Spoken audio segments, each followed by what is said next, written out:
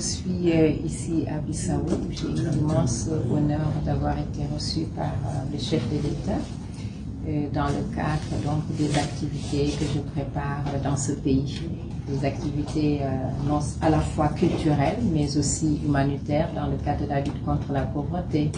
Donc, il s'agit de l'organisation du prochain festival international pour les femmes dénommé le Chant des Lingers dont l'objectif est de faire la promotion euh, du dividende démographique, euh, l'autonomisation des femmes au Sahel, mais aussi euh, le plaidoyer sur les violences basées sur le genre et aussi la promotion de l'entrepreneuriat, du leadership féminin. Mais ce qui est surtout intéressant et à retenir, c'est que le thème global de notre programme que je compte piloter ici à travers ma fondation sous le haut patronage de son Excellence le chef de l'État et la paix, la sécurité, la cohésion sociale.